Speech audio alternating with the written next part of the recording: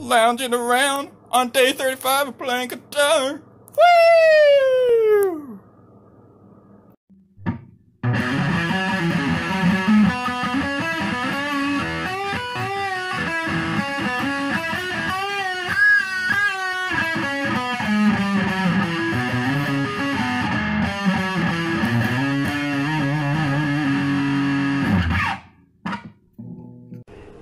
Hey guys, if you're still watching. Please leave a like. Also, I know this was a shorter video, but I just wanted to show you how I could do the screen still. Also, my videos will be shorter for the next few days because somebody's working on something in the house and I don't have enough time.